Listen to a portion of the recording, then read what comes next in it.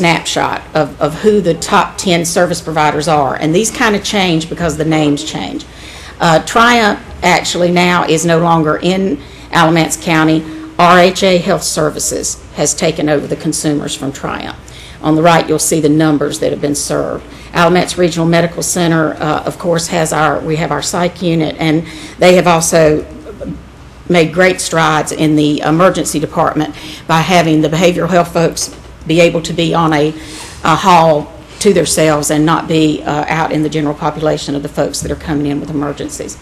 Carolina Behavioral Care, Task Cares is no longer um, a part of uh, our service providers, and their consumers rolled to Simrun Health Services over here on Vaughn Road.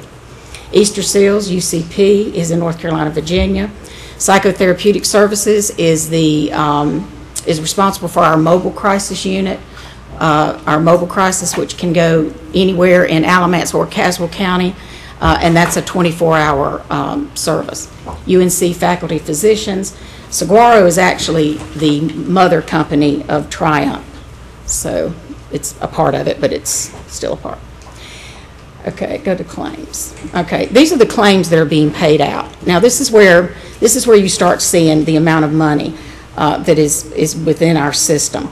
Um, Murdoch Center, uh, 3.4, Ralph Scott Life Services, 3.2 million, Alamance Regional Medical Center, 1.8, Easter Seals, 1.5 million, Psychotherapeutic Services, 1 million, Saguaro, a million, Orange Enterprises, 957,000. Universal Mental Health Services, 955,000. ResCare Home Care, 886,000. And Solutions Community Support, 795. Now, these numbers that you just saw, this is, this is the um, combination of uh, the Medicaid dollars, the state dollars, and the local dollars. So you were looking at a budget that we're working from to be able to uh, make sure that our folks are getting the services they need. The next slide will actually show you Alamance's 1.2 million um, allocation, how, how it was divided out, and this is last year, so it's through May 31st. ADS Transportation, 16,345. ADS provides the uh, HIV clinic, methadone, and uh, the uh, screenings that are done here in Alamance County for our DSS department uh, Alamance Regional Medical Center emergency. Uh, this funding has, has been a, um, it's a historical funding. It actually helps to supplement uh, the psych nurses that uh, come from the psychiatric ward to the uh, emergency room when one of our patients uh, presents. Ralph Scott Transportation, 6,365. Uh, this is transportation that's used for some of our folks that uh, used to be in our day programs that were, when the funding cuts came, they no longer had transportation, so we have tried to give them at least that much to be able to bridge that. Uh, Ralph Scott's uh, support is 91,561. Uh, Ralph Scott is a vital uh, part of, of our community and what they're able to do with our IDD population. Uh, residential treatment services, transportation is 1,100. Uh, that's only from our local dollars. That's used also. Uh, they have uh, different times have to transport from uh, the Hall Street or one of the homes to the emergency room, so the transportation's for them. Triumph Crisis Advanced Access, which is now RHA, has $895,706 of our county funding uh, which is uh, 74 73.5%. Uh, the reason for the biggest chunk of the uh, budget going to them is that when uh, mental health and uh, DDSA became a part of the managed care organization, the community wanted the crisis center to remain vital and to be able to take people for walk-ins. not every community has that. In fact, very few communities have a crisis walk-in center. They're doing an excellent job and Miss Sarah Osborne is one of the reasons for that. Um, West Care Transportation, this is, this is an anomaly. The $300, uh, we had some residents that were out of county that needed to be moved from a, a, service provider that was found not to be a good service provider. And we wanted our folks out of there. we were able to, uh, West Care uh, offered to bring those three residents back here to Alamance, and I think two of them went to Guilford County, but uh, we did give them $300 for the transportation that day. Langford Security, uh, 136,000. Um, This is another history uh, piece of our budget. Um, When ACLME uh, was in operation, we were having a lot of problems, and our law enforcement folks were having a lot of problems uh, with our officers that have to be at the emergency room for involuntary commitments and other things with our behavioral health patients. Uh, If the officer had to take them over there, usually from downstairs when the crisis unit was there, if they went over to the hospital and there was a waiting time, if there was not a bed at Central Regional Hospital, if there was, uh, if they were not able to be placed in the psych unit, then uh, those behavioral health patients would be in the ED until a place could be found for them to go. That meant that the officers had to be there with them. You would sometimes have two and three officers that were standing over in the emergency room uh, with these patients. That is a, that's a history part of what we've done. So we have, over the years, we've tried to, um, we've cut it each year. Last year, there was 136,000, but it did allow for the security to be there and the law enforcement officers to get back on the street, which is what we wanted for them. And that's basically what we're doing for you and how your, uh, your allocation is being used. Is there any questions? Is there anything that I could answer for you? Just real briefly, Sure. Oh, I don't know about that, but. how many counties are, are under your umbrella? Under my, my personal. Well, yeah, the region we're in. Okay. Uh, we're actually a part of, of 10 northern counties. Right. Now, Alamance Caswell is still its own catchment area, but because, uh, when we first went with PBH, there was only the original five counties. Oh, I see. You know, that were down there below Cabarrus, Union, Yadkin, Rowan, Stanly. Stanly. Those were the original five, and they, we, we call that the southern region of Cardinal Innovations. Uh, when we came on board, that brought them to the central part of the state. When we came on board on October 1 of 2011, on January 1, Five County in the northern part of the state became a part of them, and on April the 1st, Orange Person Chatham became a part. So we're actually a part of that uh, 10 northern counties. Who makes up the board of directors for this organization? Um, There, the Board of Directors, the model is set up so that you have what they call a governing board. The governing board is 12 members of subject matter experts, uh, which is usually in, John Moon represents uh, Alamance County there. Uh, It's uh, financial folks, it's uh, healthcare experts. Um, There was a criteria to, to make sure that we had the representation of all the areas that we would need as we begin to grow and, and expand. So uh, that makes up that, that governing board. Then each of the catchment areas, Alamance Caswell, OPC, Five County, and Piedmont, we each have a community oversight board, uh, which is made up of three members of each county. So we have uh, three members of Caswell, three members of Alamance. Uh, One of those members of representation is a commissioner. Uh, Tom Manning is our uh, commissioner, and uh, David Carter is the, uh, de- usually the designee. Then we have the chairman of the uh, Community and Family um, Advisory Committee, and that's a consumer or family member. So um, we have actually, Alamance Caswell has a seven-member community oversight board, whereas the others, the more counties you have, the the larger the number. Last question, of all the dollars we see here, can you give a, uh, just a quick uh, call on what percentages are federal, state, local money? Medicaid is about eighty percent of our funding. Uh, State dollars are seventeen percent, which have been steadily for the last fifteen years, they have cut that state dollars.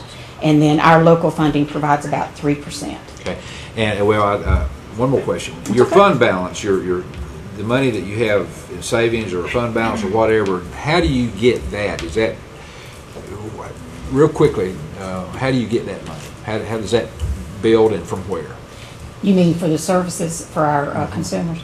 Or your fund balance overall, Tom, I may not be hitting the right language here. No, yeah, I think, yeah, I know what you're talking Okay. about. The fund balance is a part of what the corporate office takes care of, so I'm sure it's up to them as to how that's uh, taken care of.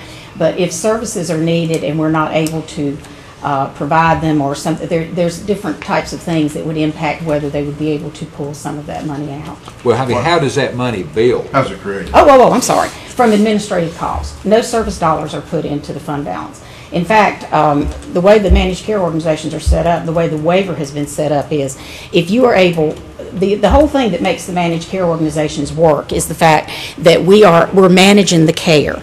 Uh, One of the reasons that the cost for uh, mental health and DD and SA escalated and became such a huge piece, and one of the reasons that we've had such a, the last 10 years, so much turmoil, uh, was because there was a time when you really weren't accountable to the money. The money came and here's you some money and you use it the way you want to use it and you give it to whoever you want to give it to. It's not like that anymore. The money has gotten less and less every year. Uh, You can't just give the money out to whoever you want to. You've got to make sure that you're looking at the budgets and seeing who's drawing that money down. Make sure that they're using it for what they say they're using it for. Make sure they're accountable, that they're giving the best service. So um, it has changed the whole environment of being able to, to uh, allocate funds. And we do get um, folks uh, in the community and some of the providers that, that want more money. Um, And, and I- it it would be wonderful if there was a lot of money to be able to give them. But what we're working with in a managed care organization is, you have a finite amount of money. We've got to make it work in the most mindful manner that we can. And managed care manages those that are at most at risk. If you can keep people from keep, from going back and forth into the hospital, a lot of our dollars that have been spent in the past, you have the same folks, a lot of the same folks, that continually just rebound through these high-cost services. So what a managed care uh, organization does is, we try to manage their care. We try to put um, uh, things there in place that instead of having to go to the emergency room or having to uh, go back to Central Regional, that they have a, um, a fail-safe system that will help them and give them the support that they need. So the funds are managed in a way that they've never been managed before. Did that help you? Was that a? was that A little bit. I'll, if you want me to make, give me a little more. Tom might. Well, let me ask you this, Deborah. Deborah, and I I appreciate the presentation and the numbers, and, and I think Tim's question is a valid one. I, I think more generally, it would probably help this board going forward to know who not only, um, you know, our, as you said, our designee is David Carter. All right, if someone in our group, and we need to know who that someone is, wants information about PBH, what's required in terms of reporting to this county based on our million two, how should that chain of communication work? Should it come through Clyde? Should it come through, um, Clyde, I mean, you may help on this. What, what would you see?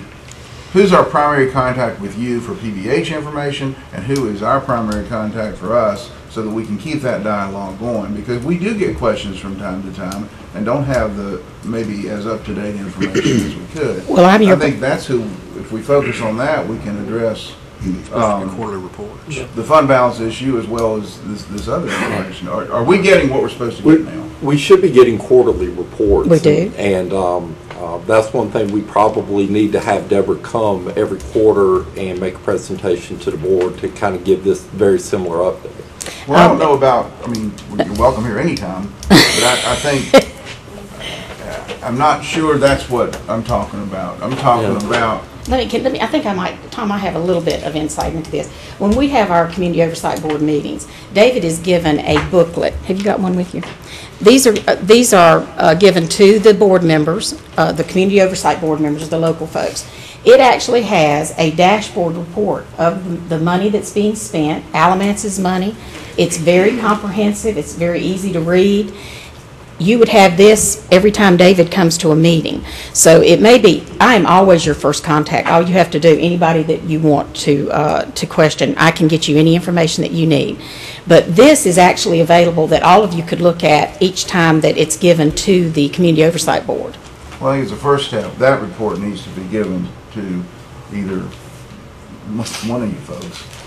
So you might want to decide who and make sure that's given. I, I have not been getting that report. Okay, that needs to, it's actually the commission, Not, not Since since you the guys left. combination. it's the commissioners uh, But- that represents us. Well, that, that's fine, give it to me, but I, ju- I just haven't been getting it. Sure.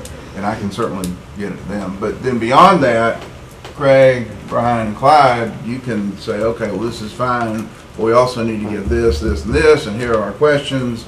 So, because you, you've gotten questions, I think, from some providers. That's correct.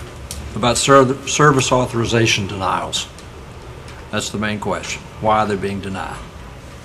There's all kinds of reasons why services would be denied. It could be that they are not a clean claim, uh, that they are not authorized to provide that service. So there's a lot of reasons. I'll be happy to do that. No, the- again, I, I think the point is, Clyde's probably not in a position to answer that question when he gets those requests. Oh, no, no, I know. So we need, we need to be able to channel those Through Deb. when we get them Sure. to Through you and get that information. That'd be, that's perfectly all right. Um, that, I mean, we just Right. need to have that flow of communication. Sure.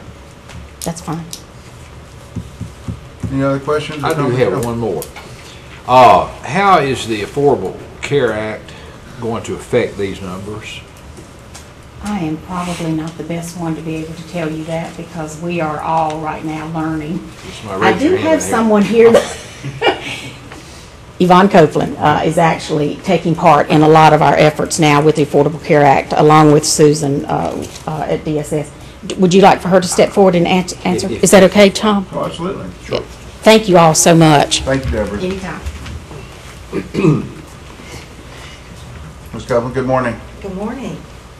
Uh, Thank you for having me this morning. I actually would like to address a couple of questions that you posed to Deborah. Um, When you asked who could you go to if you're not getting the correct information or enough information, feel free to call me or email me. My name is Yvonne Copeland. Uh, My email address, let me give you that, yvonne.copeland@cardinalinnovations.org. So feel free to send me an email if there's something that you're not getting. I'd also like to answer uh, Commissioner Sutton's question about how, what happens to the fund reserve, or how do we build that? Uh, Managed care organizations are required to try to save at least 2% a year. That is part of managing care that Deborah mentioned. The reason why we do that is to hopefully achieve savings if we're able to. Cardinal Innovations has been successful in that effort for the past seven years, to achieve savings and then reinvest those savings into purchasing dollars, which then goes to the Affordable Care Act question that you pose. How will that affect us? Our Medicaid enrollment will go up. So therefore, we need to have dollars to serve those additional people. And those savings will go toward purchasing more services for the individuals that now come on the Affordable Care Act. We call that, um, um, it's, even though we did not, we did not participate in Medicaid expansion as a state, there are still individuals out in the public who are not aware that they are Medicaid eligible.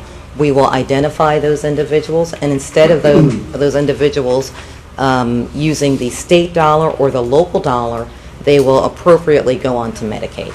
And therefore, like I said, with that increased enrollment, there will be no additional funds. However, we will do the best that we can to manage the individuals that are on and make sure that they receive services, as you've seen here today. And our denial rate is about 0.4%. So in terms of denying claims, by all intent and purpose, we don't deny claims ultimately. However, sometimes providers have difficulty getting their claims through, and that is a denial approval process, sort of a back and forth process. So we'd be happy to help um, any provider. We provide a lot of technical assistance with getting those claims through, because we want them to be paid. Well, I guess my question about that, Mr. Albright's probably not in a position to entertain those questions, other than to pass them on to somebody. So we need to know, when he gets a question, or, or, or any of our folks, we need to have a hotline to say, you need to call such and such. You can call me, you can call Deborah Welch. We'd be happy to help you. We, I talk with providers every day, um, trying to track down their claims, their payments, find out where they are, what's happening, is the problem on our side, is the problem on their side, and making sure that they are paid and paid quickly. Clyde, is that helpful? That's fine. What Be able to percentage- pass it on.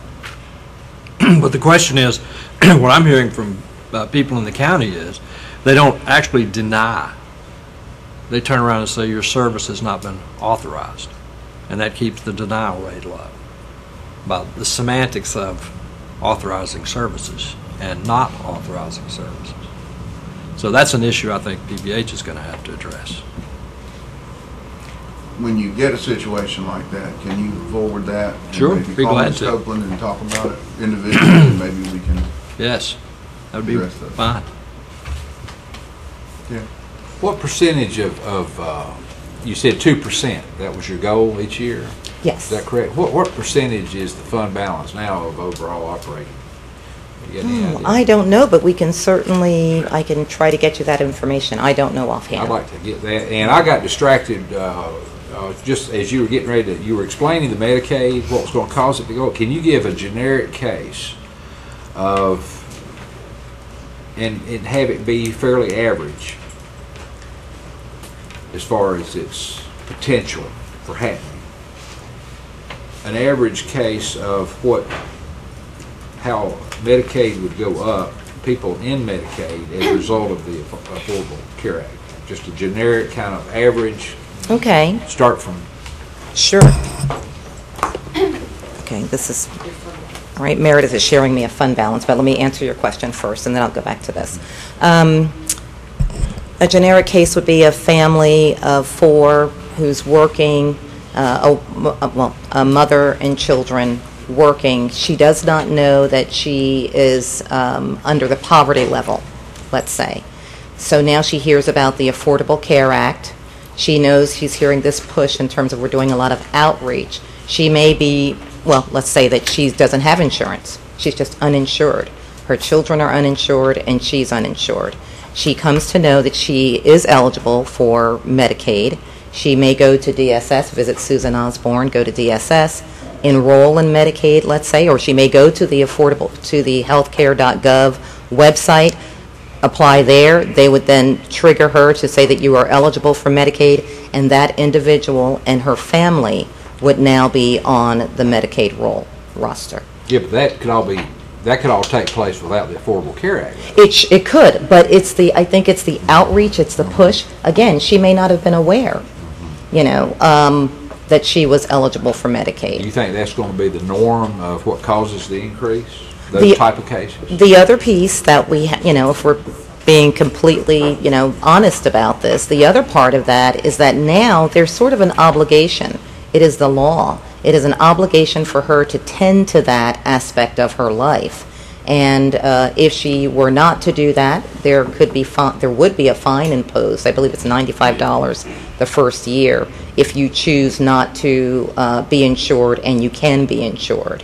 So uh, there is sort of this obligation now to tend to your health care, you know, and to make sure that you're insured as opposed to presenting to the ED, possibly with her children, and there's high expenses associated with that if they're receiving preventative care and on the Medicaid roster as we would, you know, have that individual, we Do would you- factor her in. Do you feel like, and, and I don't, I'm not trying to debate No, I'm just you- do you explaining how it would affect- There's a yeah. tremendous trend across this country of people losing their hours and they're losing their insurance. I'm a point in case, Food Lion. I mean, I'm not ashamed to, I mean, that's, that's been all over, all over the news. I've talked to Food Lion employees Mm. and they were getting all the hours they could get. The two I talked to in a parking lot up here off of Maple Avenue at 10 o'clock as they were going to their cars, and they came back and talked to me, and I said, it's my understanding you're losing hours because of this. And uh, the guy said, yes.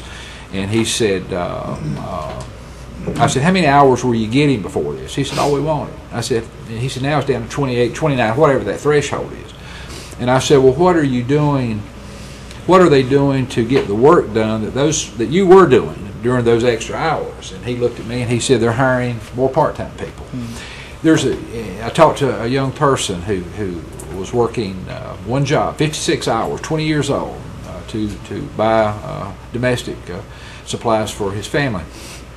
Uh, 20 year old uh, was in a GED program out here at the community college, and he was working for a company that provided him insurance, and uh, uh, 56 hours a week. And then when this came out, he had to drop out of the GED program so he could work two jobs because he was losing his 56 hour a week job, and now he had to do two jobs to get the same income. I mean, and it just appears that there's going to be some influx in these numbers just due to uh, some mani- manipulations out there in our country that I think the law should have been more thorough in preventing, and it's obviously not. So. Uh,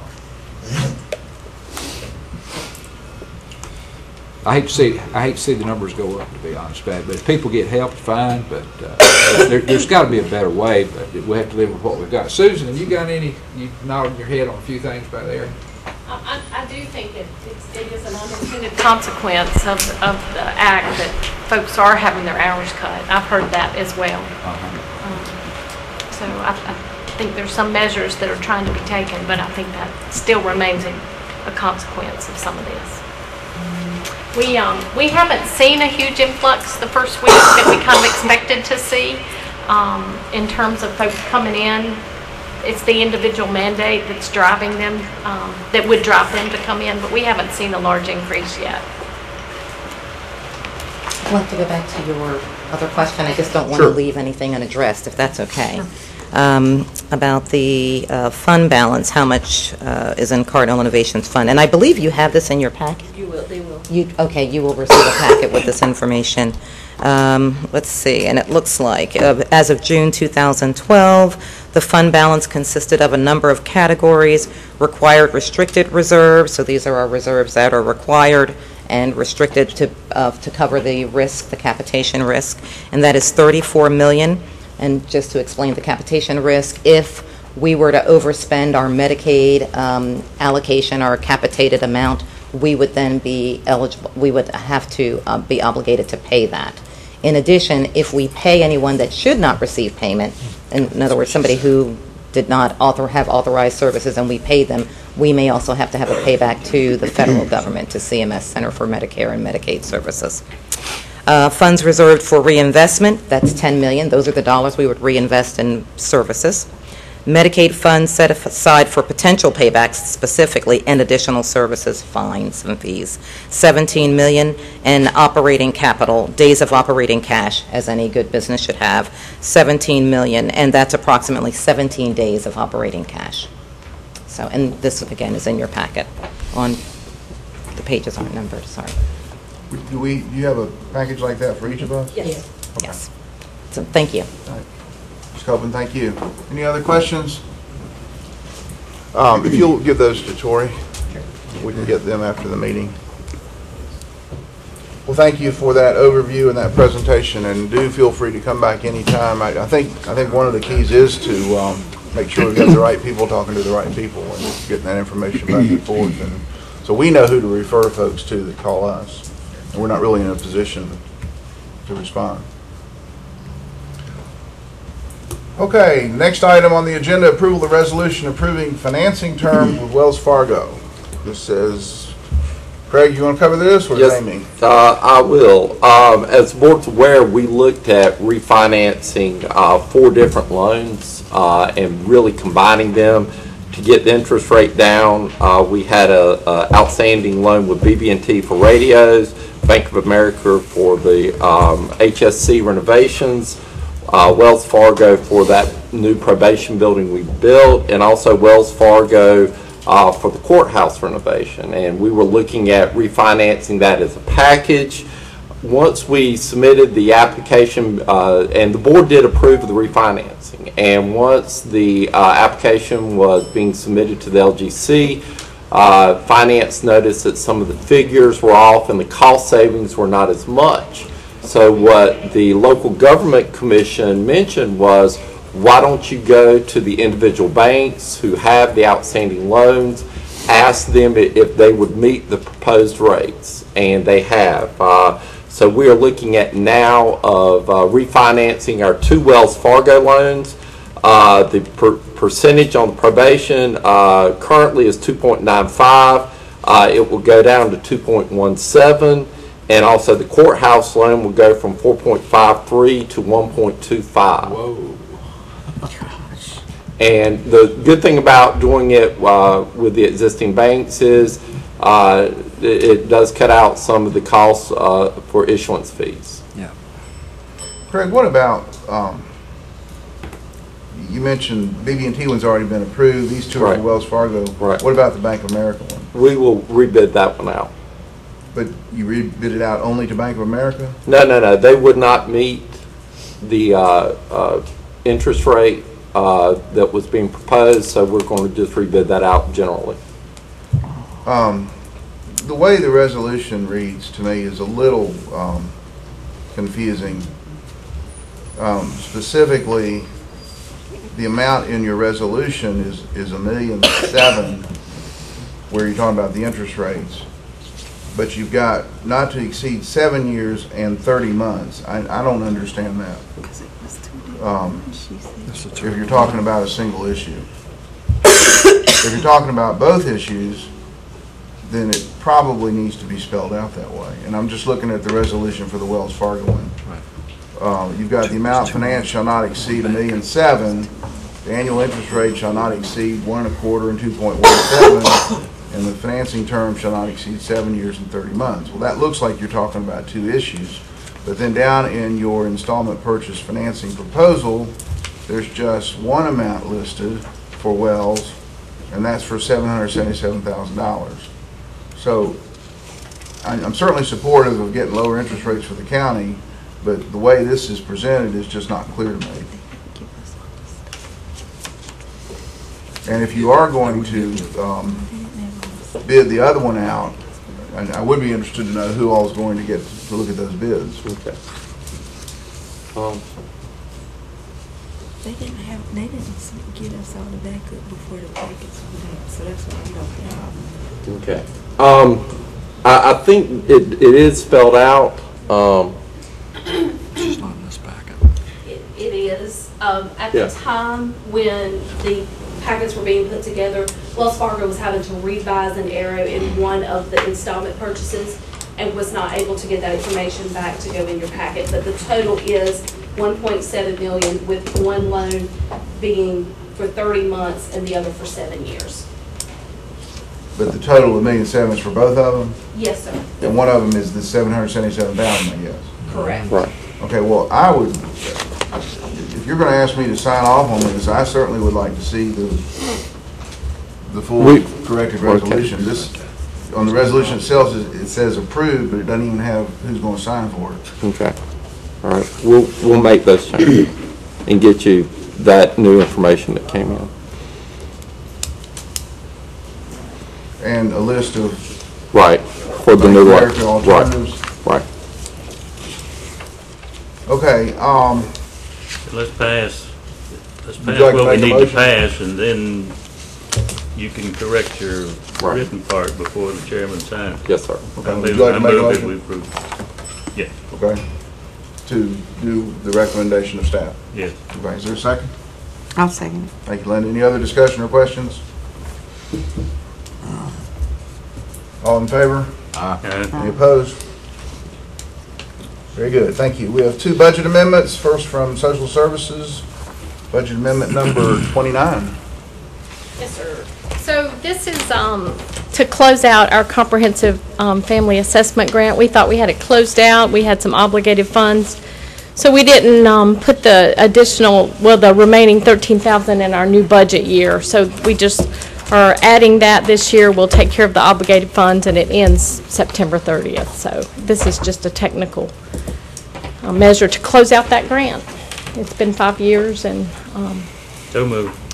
Thank you, Dave. Is there a second? Second. Thank you, Linda. All in favor, say aye. Aye. Any opposed? Thank you, Thank you. Susan. And we have a budget amendment from the legal department. Mr. Albright. Good morning, sir. family assessment. We have, uh, No. as of Friday afternoon, completed our fact depositions in this DOJ case, which brings a total of 51 depositions taken. Uh, We have three expert depositions remaining to be taken, and uh, we have uh, need of about $55,000 to complete all of these depositions. Take, pay for the 10 that were taken in the past uh, couple of weeks, and the three that are forthcoming. So move. Is there a second? Second. Any questions? Well, I have a question. Um, Yes, sir. Is there a way, first of all, this money, I assume, is going to the sheriff's attorney, is that right? the attorney and the court reporter. And these depositions go six, seven, to eight hours. So the court reporter charges for that. Uh, The sheriff's deposition lasted about eight hours on Friday. It's about 390 pages of transcript that has to be typed. And that's where a lot of the cost comes in. And then, of course, you have to pay the attorney to prepare for the deposition and to attend the deposition. But the depositions will be completed after this, All of the fact depositions are completed Friday, October 4th. And there are three expert depositions left. And this will This includes the three. Okay, so between the time that they're over and trial date, what, what other projected expenses or types of expenses would there be? Do we There'll know? be, there'll be the expense of preparing a brief to dismiss the uh, United States case, and Mr. Pierce and I will participate in writing that brief, and we'll cut those costs down. And then we'll have the, uh, the trial. Well, I guess the Judge question is dismiss it. between now and trial date, are there any significant other external legal expenses that you anticipate? No, not at this point. And as we get closer to the trial date, would you be in a position to um, give us, I mean, that'll be the next fiscal year. That will be, and I will be at a pos- better position to let you know because the judge will have ruled on our motion, and we suspect that he's going to pare this down significantly if he doesn't dismiss it outright, based on the facts that we have. And, and if that happens, then are we in a position to collect these funds from the DOJ? We will make that argument if the judge dismisses their case, uh, much like the state of South Carolina did for the voter right case that was dismissed. And we'll certainly do that, yes. All right, we do have a motion and a second. All in favor, say aye. Aye. Any opposed? Thank you. Thank you, Clyde. Next item on the agenda, ask Mr. Honeycutt and Ms. Osborne to discuss the effects of the federal shutdown on Alamance County. Um, Thank you, Mr. Chairman and Board. Uh, When we were originally asked by the paper on Monday about the federal shutdown, uh, we were asked how it would affect Alamance County. At that time, we really did not know, as we thought most programs were essential and probably would continue. Our only, what we heard was, is national parks and White House tours would be the ones that that would be affected.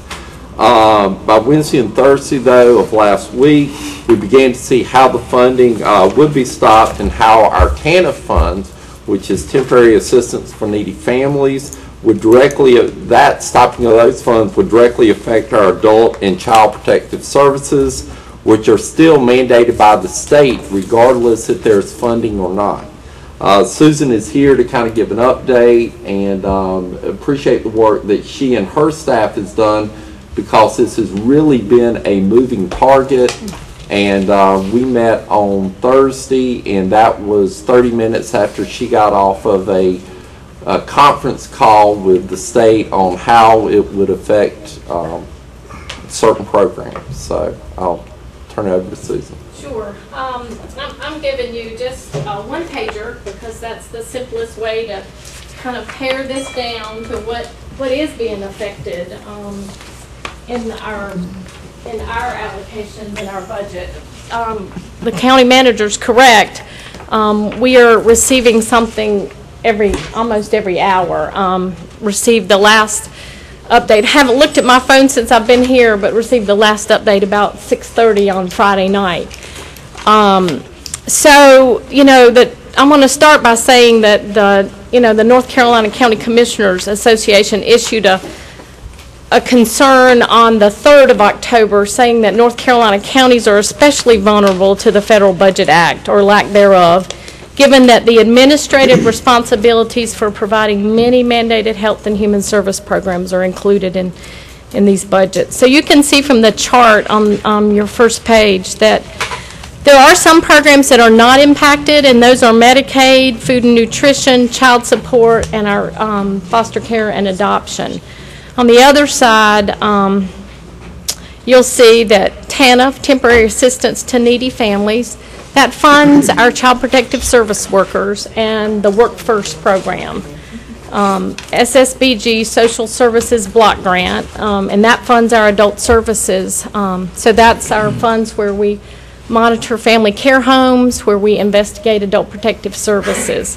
Um, Another area of concern that might not have been mentioned much is that the child care development funds. So that's the subsidy that Alamance County is pass-through money. It's about four and a half million dollars. Um, And that funds low-income working family for a part of their child care subsidy while they go to work. Um, They pay part of their salary, and then we, and then these funds pay that. Um, We were told late Friday that the payroll that was submitted for September care could be covered. but we're today, October the 7th, with no assurances that that daycare payroll will be paid. Um, And that is federal pass-through dollars. Um, So we have a, a major concern about the child care development funds. Then our low-income home energy program, um, that's our SIP and LEAP. It's not cold yet, so we hope that this will have passed by the time that um, is needed. One thing that hasn't changed, though, is the, is the mandate and the North Carolina General Statute that says we respond to child protective services within three, 24, 72 hours. We have a responsibility to put children in foster care. We have a responsibility to pay for daycare for foster parents who are um, keeping children in our custody. We have a responsibility to respond to exploited um, adults, and those things have not changed. Um, And so in your packet, you have the mandated services. Let me tell you some of the things we've done already. Um, We've, we've been told, and the latest information is that, and I'll, I'll read you this quote because I think it says it all. Um, Full reimbursement for Septem- September services will not be possible due to a lack of federal funds. That was from the um, director of, or the assistant director of HHS. Um, There is no assurance of reimbursement from federal funds, and there should be no expectation of receiving state funds in lieu of federal funds. Um, That came Friday evening. So what we've done to try to mitigate this, because this funding comes, you know, so we, we pay our, ser- we pay our workers for the work they provide, and this is all, we're, other than childcare, we're talking about administrative costs. So we, um, we provide the service and then we get reimbursed. So we have frozen vacant positions to try to minimize those funds. We have some um, code, coding that we've switched. We have some, we received an allocation of some all-state money, so we have switched over to those codes and are maximizing all the revenues that we can. Um, We have, we're moving um, folks to federal, um, state-funded areas. We've eliminated our emergency assistance and our general funds that we use to pay prescriptions and those kinds of things, because those are county dollars. And we have ready to go um, a letter to daycare providers um, ending daycare services for anyone not eligible to move over to Smart Start, um, effective Wednesday. Now, what that would do, um, our payroll for Alamance County daycare is $340,000 for September. We can move over um, to Smart Start for this month, um, a portion of that, but that leaves about right at $200,000 of that 340. Um, The county would have to be responsible for that if there is no federal funding. Now, will there be? Will they go back and pick it up? It's possible. Um, We're talking about a pretty significant impact on working families, um, beginning Wednesday. We're also talking about an impact on um, the businesses that receive these funds. Um, They'll be paid next week for September.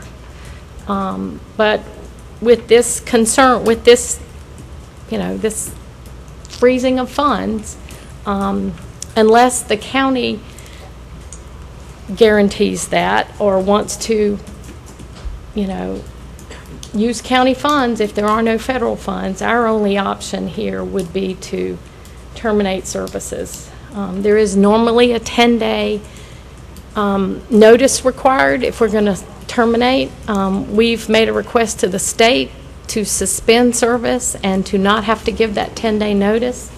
The letters we have ready are um, effective Wednesday.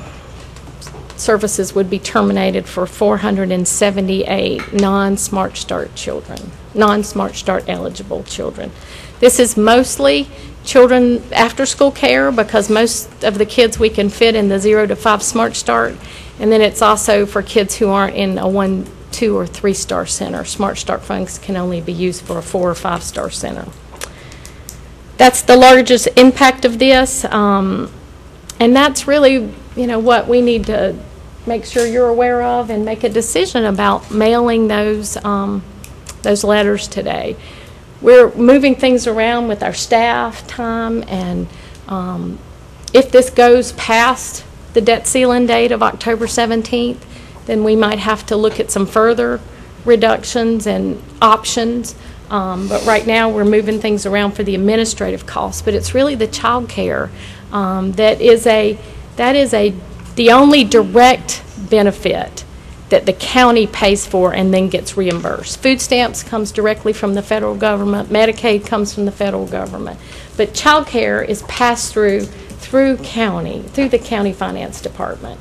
And like I say, that payroll varies from 400,000 to 350,000 a month, um, pass-through funds. But with, with the statements that, that they don't know if, the state doesn't know if they'll be able to go back and pick up or not.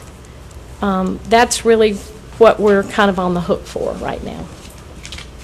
And so I need some guidance. Take us through, it. I asked for copies of the laws on Uh, this. It's up in Is front it- of, yes, is it sir. up here? Yes, sir. Where is it? Well, it's that mandated This right sheet. here? Yes, sir. It it co- quotes the general And Is this statutes. verbatim out of the book? It- Yes, sir. That's General what, statutes. general statute. Are Those the are the laws general- written that pathetic that the state's gonna make you do something, knowing the feds are gonna, how did the feds get to pick up the tab? I mean, did this, I mean, was that automatic? I mean, was that uh, something North Carolina applied for and got? Pick up the tab. The tab for the daycare. So, the, um, the, f- we get some, the state gets, it all comes to the state, federal funds through the, um, child, let's, want to get, make sure I get the, child care development funds. Comes from the feds, and then the state includes some state money, and then it's allocated to the counties. All right, and there's nothing in the law that says that if the feds cut that stream, that revenue stream, that there- there's not to be any uh, comparable action at the local level? Well, I, I mean, there are county commissioners all across the state this morning and tonight that will be grappling with that. Yeah. It's, um, It's hard to believe that our laws are written that pathetic in this country. Our country's bankrupt. And, and it- it's, it's time everybody realized it. well, and, And, and, yeah, and I can't see picking up a tab of, uh, that the feds uh, dropped the ball on uh, for poor management at the, in Washington. yes, You know, sir. that's just my personal belief. Yes, sir. It's, it's hard to believe that uh, the state law is that pathetically written. And, and we've worked to figure out every angle we can to move as many of these children over to state funds that we can. Um, But we're, we're still talking about, about 475 children. Well, I, I have to agree with Tim in that I don't think we can set a precedence by starting to place federal dollars. The whole thing on the budgeting process that we've looked at here and for the past several years with the schools is, is as cutbacks are occurring, it's, it's very unfair to ask the counties to pick up the difference. And furthermore, this whole shutdown is, is, is designed to have the results that it's having. Basically, to make it stretch out to as many people possible, um, to, um, to make somebody give up there. Right. And, and, and I think we're just gonna have to, to, to stay with it. The other thing is, and you didn't mention this, but I'm getting all these emails from, um, Dennis Williams and reimbursements Yes. from the, um, Yes.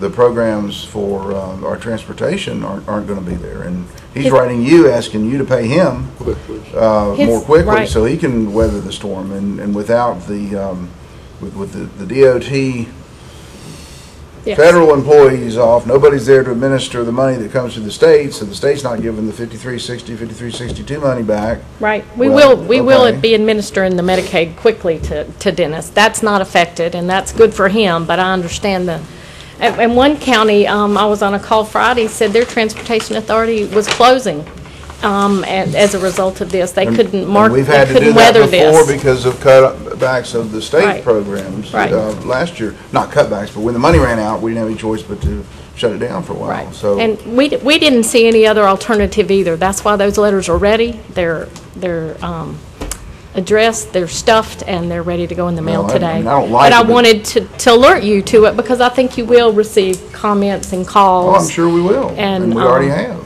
Right. But And I think, I understand. think the only course, you know, we meet again in two weeks, and I think your report and your update's critical, and we need Yes, to sir. know what you feel at that time. Yes, sir. That's my opinion. Yes, sir. And, and I guess what we're asking, the, the consensus is we will send those letters out today. They're ready to go. Oh, yeah. Absolutely. I agree. Thank you. Thank you. And Dennis does want his bills paid. I don't know if you can do that or not. I know we, we carry him. We did that this morning. Good. Um, We finished up, and Amy's gonna get it in just a little while. He'll, he'll like that. Thank you, Susan. Thank you, Craig.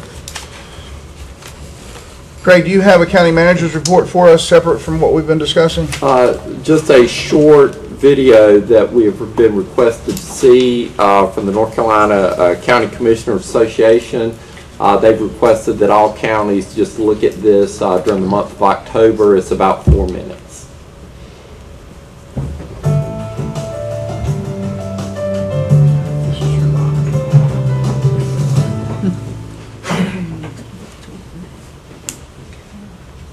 Hello, I'm Person County Vice Chairman Ray Jeffers and President of the North Carolina Association of County Commissioners. I would like to invite you in helping the NCACC represent the interests of all 100 counties. Our organization is only as strong as our members, and we need every county to be engaged. There are many ways you can get involved with our organization. Thanks, President Jeffers. The NCACC has been advocating for counties for more than 100 years. And along the way, we have found that the best advocates for county government are you, our local elected officials. That's why we'd like to make it easy for you to help us achieve your goals at the General Assembly. Legislative Council Sam Skinner is going to tell you about how you can become involved. One of the best ways county commissioners to get involved is to serve on one of our seven steering committees. The steering committees provide guidance and recommendations to the board of directors in seven policy areas. They're agriculture, environment, general government, health and human services, justice and public safety, public education, and tax and finance. The committees meet quarterly and will consider information on emerging county-related issues. Each steering committee will be meeting in October, and I hope you will consider serving on the. You can sign up for a steering committee on our website. The association does a lot more than advocate for county interests. Another part of our mission is to provide education and training for county commissioners and county staff. Associate Director of Education Jason King is going to tell you more about an exciting opportunity we have coming up in October. On October 15th, the NCACC will sponsor a seminar on the implementation of the Affordable Care Act and its impacts on county government. This day-long seminar is free and will be held at the Sheraton Hotel in Orange County. We will bring policy experts from the National Association of Counties and other organizations to discuss with county officials the steps that counties need to be considering to make sure they are ready for this change.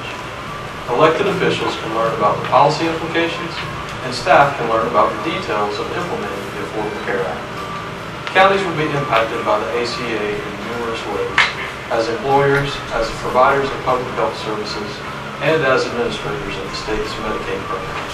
This seminar will help counties understand the issues that could come up as the ACA becomes law. I hope to see you in Orange County on October 15th.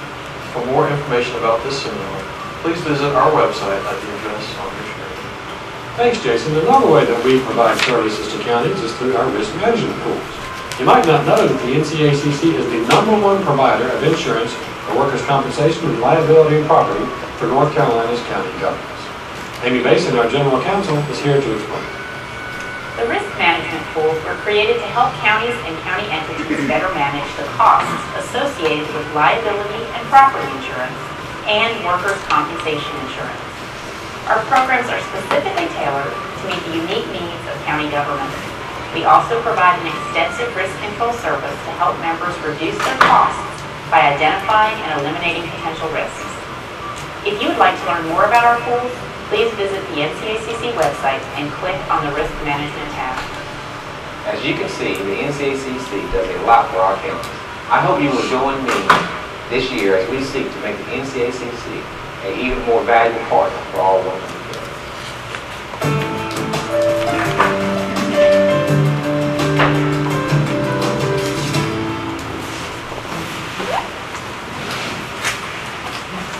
That's all. Um, Linda has been attending a number of these conferences, and you want to comment on the one he's talking about in October? The yeah, that we just had. We just had a conference. Oh, I thought it was, yeah, the affordable no. health care. But the one coming up on the Oh. fifteenth. I don't, well, I'm going to Raleigh, actually, uh, Wednesday. Uh, but I'm on the Agriculture Steering Committee, so that's where I will be Wednesday, is in Raleigh, uh, for that. Uh, I am on that, uh, committee. Um, and it's been very good for me. I learn a lot about agriculture and, um, that I didn't know. So, but, um, and we could use somebody else to go somewhere else too now, if y'all want to go. But you do represent us well. I did, well, I've been, Association. Craig and I both, uh, always go to, uh, the, um, the annual soiree that they have, and we were in Guilford County, what, a couple months ago, wasn't it? Yes, ma'am. And, um, that's where they had their annual uh, meeting at this year, was in Guilford County. I forgot where it's gonna be next year, I'm not sure. but But it would anyway. be close by. I don't know. We, we go all over the state for that, so. But anyway, it's been really edu- educational for me, um, because I didn't know a lot about agriculture, but still don't know a whole lot. Oh, well, a whole bunch, trust me. Trust me, and I see we have a new, uh, director, um, in Alamance County for, um, the, um, uh, it's left me. No, no, no, it's. Roger Cobb's Roger position. Cobb's Yeah, position. Actually, I'm glad you said that. Would you comment on that? Who, who is that person? It's a lady. I have not met her yet. I'm so sorry. We, we had an issue, and, and I'll, I'll be brief. Um, when Roger Cobb retired, and Roger was the director, not of the extension service, but the other half, what- whatever that position is called. Mark Danley's our extension Right. agent. Ag, Ag, Ag- it's sold- ag- The ag, yeah. Well, anyway, Well, Steve the, the state wanted to come in and combine County. that, uh, position with two or three other counties. And the group got together and convinced the state that we didn't want to do that, With the- basically with the facts. So, so we did hire somebody just to serve Alamance County. So that was, that was good. We don't I know who do that go to is. those meetings too. I haven't met her. Okay, we probably need to find out who that I'm trying to think. It's a woman. Well, that's okay. I can't remember what her name is. Any other Didn't the comments? county- Didn't the county have a say-so on who was appointed? Yes, the, uh, Dr. Commission, the um, agricultural board has a committee. It's Phil Ross uh, and his board, Right. and that's Steve Love and, um, Mark Daniel. uh, well, Mark's the Danny. the staff, but Steve, uh, Oh. Doug Fincannon was on it. Yeah. Uh, There's a group, there's a group that that makes. I'm not on that board. Frank Bell's on that board, I believe. You didn't go, you weren't, Wasn't, wasn't asked.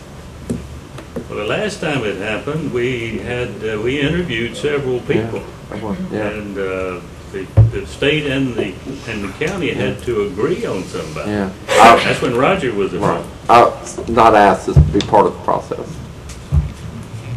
Do you have other reports? No, sir. Thank you, Craig. Linda, thank you. At this time, I move that we go into closed session pursuant to North Carolina General Statute 143, 31811A3, in order to preserve the attorney-client privilege between the county attorney and the Board of Commissioners, to specifically discuss and consider the terms of settlement with Tasha R. Reese in the matter of Tasha R. Reese versus Alamance County DSS. And that is the only um, item to be discussed this morning. I'll make that motion. Is there a second?